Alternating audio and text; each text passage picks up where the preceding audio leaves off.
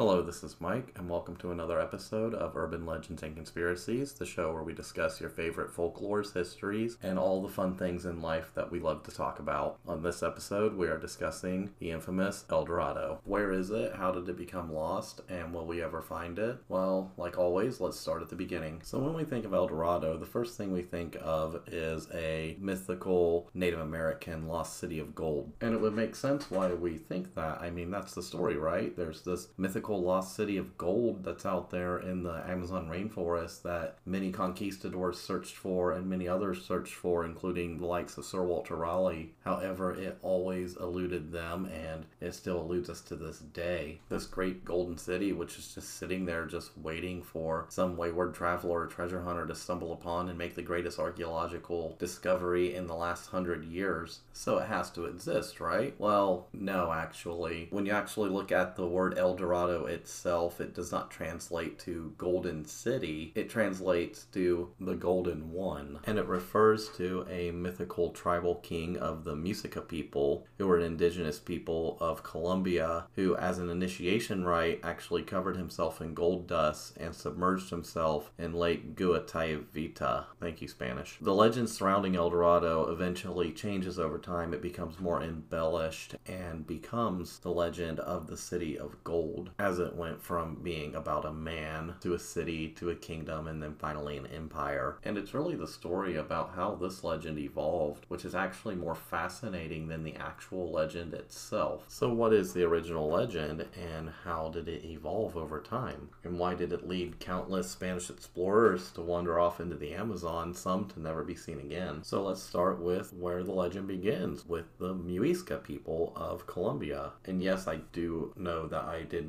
mispronounce it earlier. I'm not going to edit it. I own up to my mistakes. So the Muisca people lived in what is now modern day Colombia at around the same time as the Aztec, Maya, and Inca civilizations. And before we discount them as being one of these kind of backwards tribal people, the Muisca Confederation was just as advanced as their contemporaries, the Aztecs, the Mayas, the Incas. They're just lesser known, probably because their conquests didn't have the same powerful storytelling as the conquests of the Aztecs or the conquests of the Incas. So, in the mythology of the Muisca, Mina, the golden color, represented the energy contained in the trinity of Chiminigaga. I know I said that wrong, which constitutes the creative power of everything that exists. So, with this religious significance placed on gold, it's no surprise that it played a large role in a lot of their ceremonial rituals and activities, which brings us to a very important ceremony in their culture, which would later become known as El Hombre Dorado, or the Golden Man, or El Rey Dorado, the Golden King. So this ritual takes place on Lake Guatavita, near present-day Bogota, and what goes on in this ritual kind of becomes the foundation of this myth. And we actually have accounts of this ceremony, one which I'll read from now from 1638, written by Juan Rodriguez Friel. I love Spanish. So in 1638, Friel writes this account of the ceremony. Quote, The ceremony took place on the appointment of a new ruler. Before taking office, he spent some time in a secluded cave without women, forbidden to eat salt or to go out during daylight. The first journey he had to make was to go to the great lagoon of Guatavita to make offerings and sacrifices to the demon which they worshipped as their god and lord. During the ceremony, which took place at a lagoon, they made a raft of rushes, embellishing and decorating it with the most attractive things they had. They put it on four lighted braziers in which they burned some moque, which is the incense of these natives, and also resin and many other perfumes. The lagoon was large and deep, so that a ship with high sides could sail on it, all loaded with an infinity of men and women dressed in fine plumes, golden plaques, and crowns. As soon as those on the raft began to burn incense, they also lit the braziers on the shore so that the smoke hid the light of day. At this time, they stripped the heir to his skin and anointed him with a sticky earth on which they placed gold dust so that he was completely covered in this metal. They placed him on the raft, and at his feet they placed a great heap of golden emeralds for him to offer to his god. In the raft with him went four principal subject chiefs, decked in plumes, crowns, bracelets, pendants, and earrings, all of gold. They too were naked, and each one carried his offering. When the raft reached the center of the lagoon, they raised a banner as a signal for silence. The gilded Indian then threw out all the pile of gold into the middle of the lake, and the chiefs who had accompanied him did the same on their own accounts, as they lowered the flag which had remained up during the whole time of offering, and as the raft moved toward the shore, the shouting began again, with pipes, flutes, and large teams of singers and dancers. With this ceremony, the new ruler was received and recognized as Lord and King. This is the ceremony that became the famous El Dorado, which has taken so many lives and fortunes. End quote. So you can see, even by the time that this account was written, El Dorado was already a well known myth that was going around and it was already being exaggerated, for it was leading to these conquests and searches for it. In 1638, it would have been in the middle of the time where this legend was sweeping across Europe and sweeping across the explorers who would come to conquer the lands and seek their fortunes. It could be that this account was actually the writer doing his own research into what was the source of this El Dorado, this myth, this fantasy. It seems like he may have been doing some debunking himself. And at this time, it would make sense why there would be a myth like this, as we see expeditions looking for cities of gold go back to the 1530s it enticed these European explorers for two centuries. I mean, it wasn't until the 19th century when it was kind of discounted as just lore. And we have to remember that South America was a largely unexploited continent. Gold and precious resources were fairly plentiful, and they didn't play a role really in the economies of these people outside of a ceremonial purpose or decorative purpose. It was largely ignored. Europeans were the ones that really valued it as a commodity for wealth, as long as well as silver and precious gems, etc., etc. They built their economies around these metals that they could extract, which is a very labor-intensive process. So if you just walk into a city and just pluck gold off the streets, I mean, there's an easy win. You go home and you're a hero. It might even make you a king.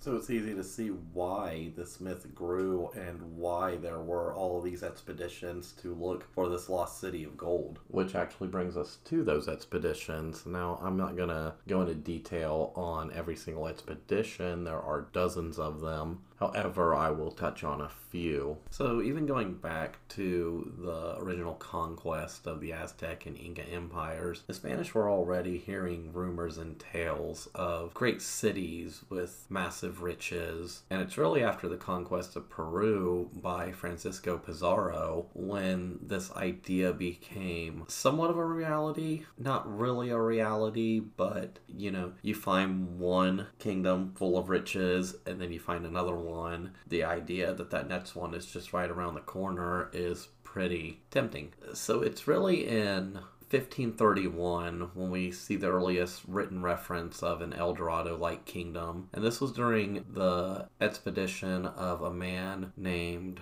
Ordaz. He was a Spanish conquistador. He was a veteran of Cortez's campaign in Mexico. He did a lot of exploring in eastern Venezuela. He was one of the first to explore the Orinoco River. And around this time, 1531, on an expedition for gold, he wasn't actually looking for the city, he was looking for gold, resources, cinnamon, stuff like that. He was told of a kingdom called Meta, it was said to exist beyond a mountain on the left bank of the Orinoco River. It was supposedly abundant in gold and ruled by a chief that had one intact eye. So he follows the Orinoco River up to the mouth of the Meta. However, once he gets on the Meta River, he was blocked by rapids and forced to return. He would die shortly after in 1532 on his way back to Spain. Subsequent explorations would eventually go up the Meta River between 1532 and 1537. However, just like all other searches for El Dorado, they did come up high and dry and were forced to return. So the next real search we see for El Dorado comes from two German conquistadors. And yes, there were German conquistadors in and around South America. There were actually German Venezuelan land holdings between, I believe, 1528 up to about 1547. However, two German conquistadors, Nicholas Federmann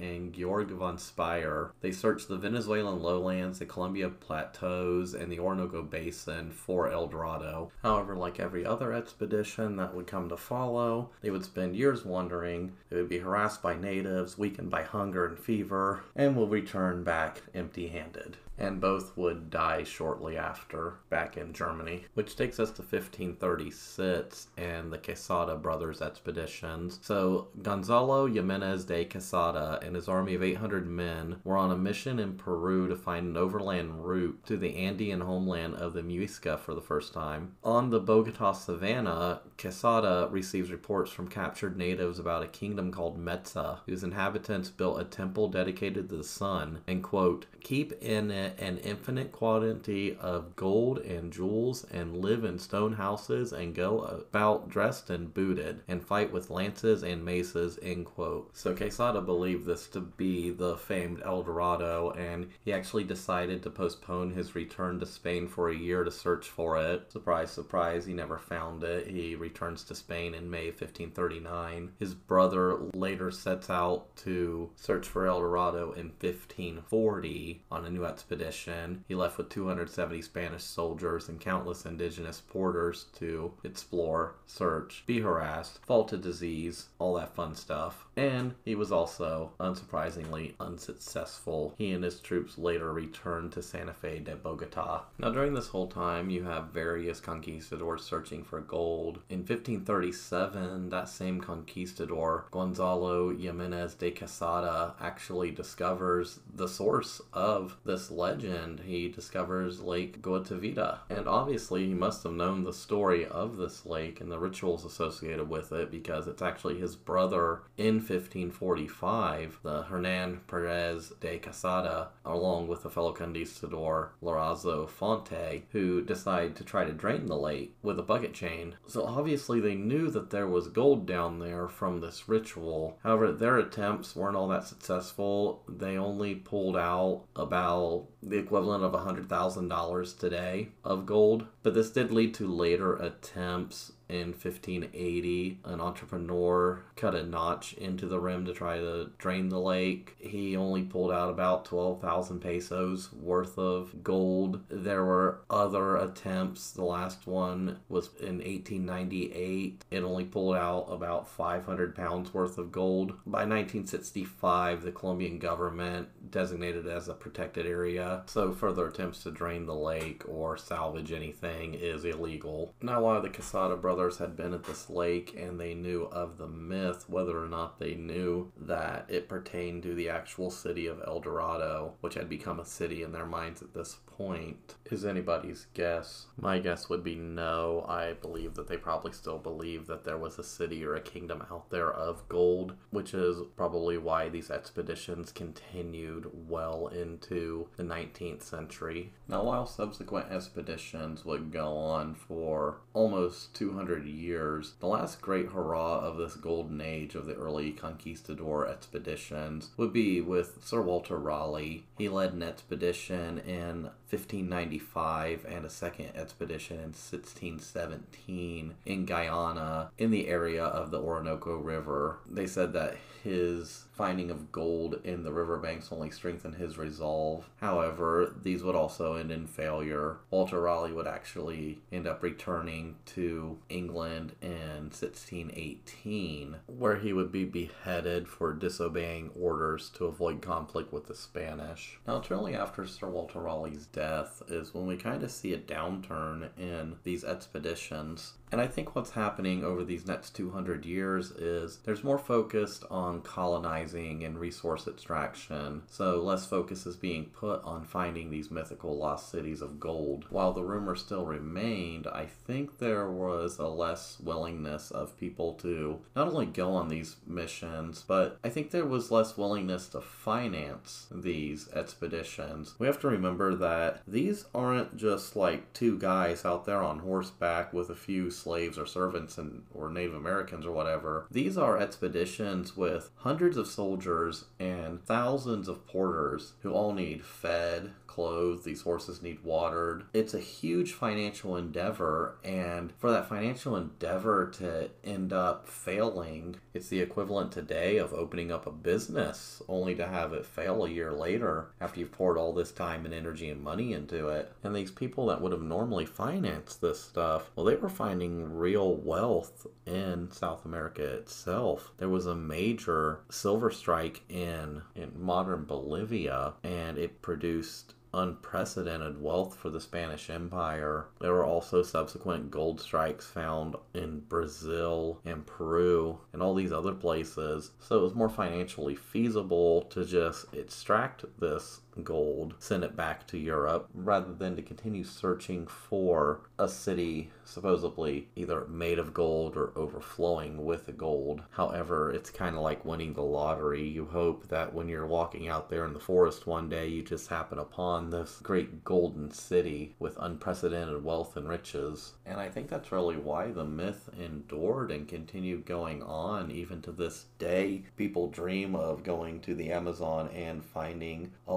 lost city of gold. And that's more enticing and desirable than actually trying to extract gold from a gold mine. Just stumbling upon it is easy. If you can stumble upon it, game over, you're rich. It's that inherent laziness in all humans, I guess. If we could find an easy way to be rich, we wouldn't work for it. I certainly wouldn't work for it if I found a way to make a million dollars tomorrow. And that's what brings us to El Dorado's final evolution as a metaphor. It becomes used as a metaphor to represent that ultimate prize, that holy grail, a place where one could rapidly and easily acquire riches and not just monetary riches, it evolves to become that metaphor for representing the ultimate prize that one might spend their life seeking. It could represent love, happiness, success, whatever your heart's desire, that becomes your own personal El Dorado. However, the flip side of that is it becomes to be a figure of speech to represent something that you may spend your life searching for but never actually exists, which actually brings us to Edgar Allan Poe, of all people people.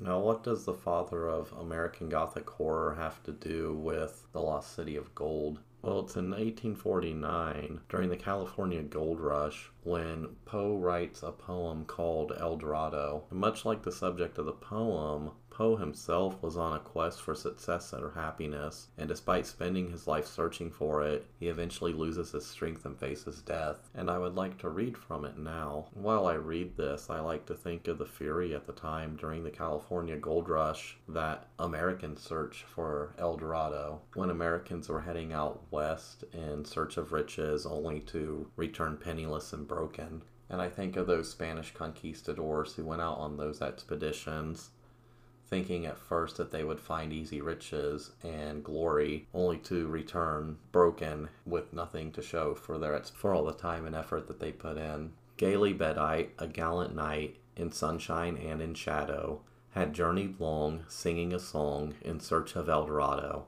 But he grew old, this knight so bold, and o'er his heart a shadow fell as he found no spot of ground that looked like El Dorado.